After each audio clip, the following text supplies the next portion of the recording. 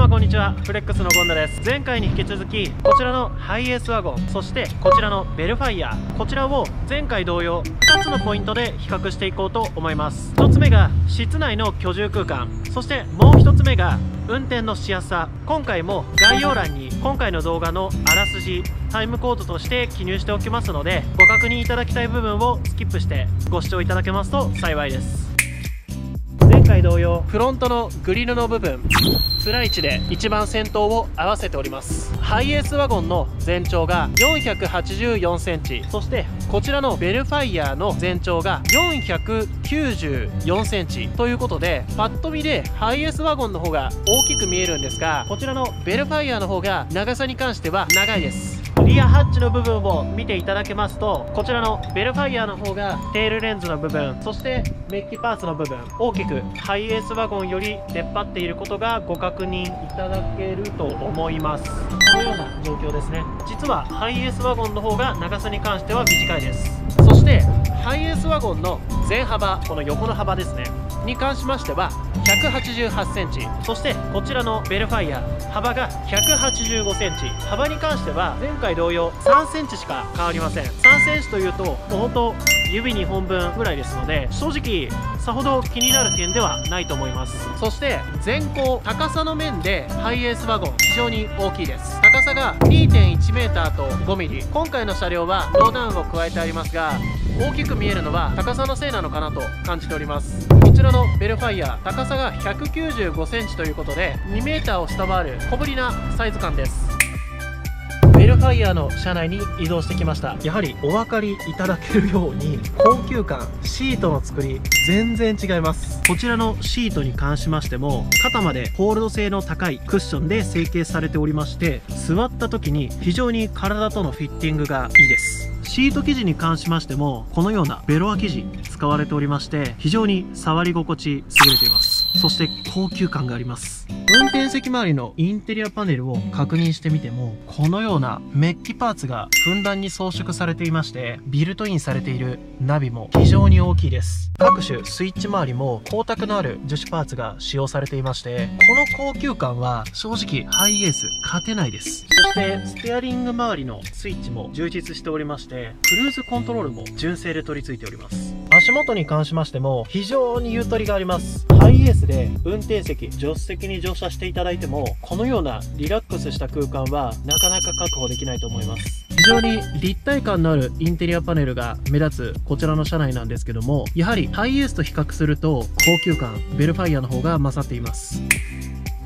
前回同様ハイエースワゴンは2列目の左側にしかスライドドアがございません。こちらのベルファイヤーに関しましては両側パワースライドドアが設計されておりまして乗り入れの際に快適です。このセカンドシートの設計を見ていただいてもお分かりいただけるように非常に座り心地がいいです。足元も身長1 8 6センチある。僕がしっかり足を伸ばしてリラックスしてセカンドシートに乗車することが可能です。ドライブを行うことを考えるとこれ以上に快適な空間なかなかないんじゃないかなと思っております。もう街乗り走行大きな荷物を一切載せないそういった体で車両選びをするのであればこのようなベルファイアアルファード非常に使い勝手がいいんじゃないかなと思っております。ハイエースワゴンのセカンドシートに移動してきました。こちらの車両やはり足元が若干狭い点とシートの座り心地に関しては分が悪いのかなと思っております。ただ先ほどのベルファイアと違う点としましてこの2列目のセカンドシートだいぶ車体に対して右側に寄っていることがご確認いただけると思います。このレイアウトのおかげでスライドドアの開口部からこちらのスペースエントランスとしてご使用いただけるので3列目と4列目に対しての乗り入れ非常に簡単に行うことができます。こちらの縦空間が空いているという点は収納力長物を積み込む点でもかなり有利な点ではあります。天井の空間にゆとりこそあるものの2列目で3時間4時間の長距離ドライブを想定するのであればベルファイアアルファード非常に快適だと思います。グレードにはよりますが7人乗りから8人乗りの設定そしてこちらのハイエースワゴン10人乗りの設定です。ベルファイヤーに関しましても運転席助手席そして2列目の2名掛けのこちらのパワーシート合計4名乗車を検討するのであれば非常に快適にドライブを行うことができますが最高列の3列目シートに乗車する際少し後ろの空間への移動が難しいという事実はございます。そしてこのような車種の特徴ではあるんですが3列目シートに乗車した際に天井の空間非常に狭まってきております。2列目こそ快適ではあるものの最高列のシート乗り入れ及び乗車した際の圧迫感。正直こちらは否めない事実でございます。ハイエースワゴン左側が通路として空間が確保されておりますので3列目4列目への乗車非常に簡単に行うことができます。そして天井の空間に関しましてもハイエースは運転席側から最高列まで室内高がほぼほぼ変わらないのでどの席に乗車していただいても圧迫感狭さを感じることはなかなかございません。そうしましたらこちらのベルファイヤー最高列シートを展開した状態でどのぐらいのラゲッジ空間があるか確認していきたいと思います。まずこちらのハイエースワゴンですが4列目シート前回同様リエハッチギリギリまで設計されておりますのでこの座席の下の空間この状態では正直ここしか収納空間はございません。こちらのベルファイヤーに関しましては最高列シート展開させた状態でこのようにリア空間若干ございます。お子さんの部活に必要なバッグそのような小柄な荷物に関しましてはこの状態でも設置できるのかなと思います。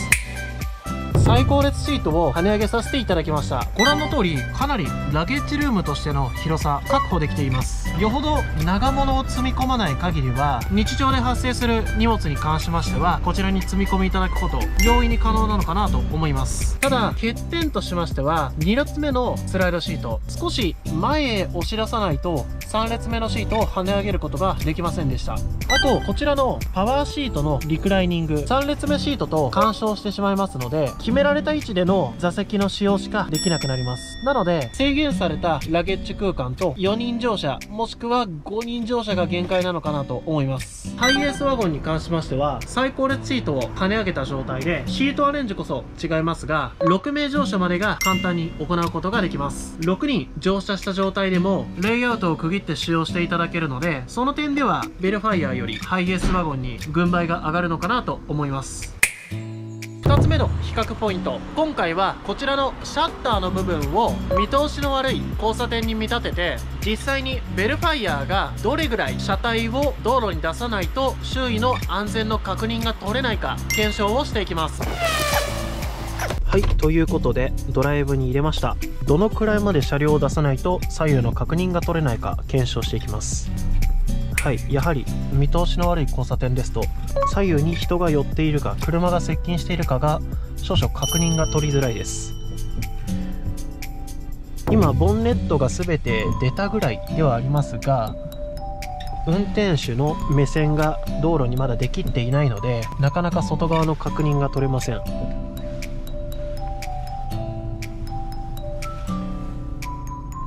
はい今シャッターの外側に出ました。なのでもしこちらが道路交差点であればこの位置まで車体を出さないと左右の確認が行えないということです。左側を見ると GoPro あちらを人の視点に見立てて今設置してあります。この状態で外に出てどのくらい車両が出ているかを確認していきます。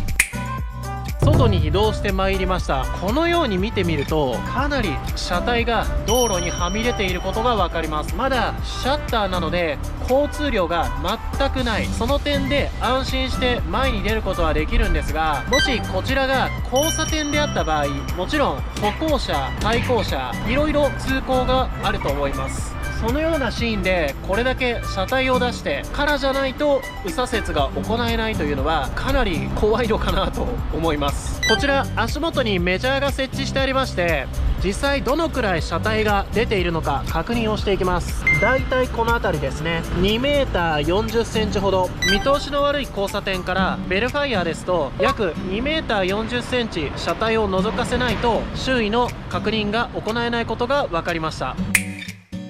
続いてこちらのハイエースワゴンでどのぐらいの出幅があるか検証をしていこうと思います。それでは検証をスタートします。はい。今交差点に進入を行おうというところです。まだ左右は大きく安全の確認は行えていません。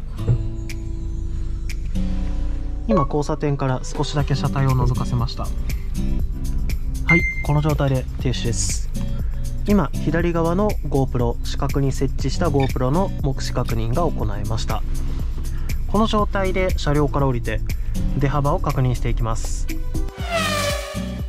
ハイエースワゴンでの検証が終了しまして車外に降りてきました。この状態をご確認いただくだけでも先ほどの車両と比較してあまり車両が出ていないなということはお分かりいただけると思います。こちらがハイエースワゴンだけではなくバンもしかりですがセミボンネットタイプ。ボンネットが運転席助手席の下側にある恩恵だとは思います。この状態で交差点に対してどれだけの出幅があるか確認していきます。えー、っとそうですね。多分この辺りだとは思うんですが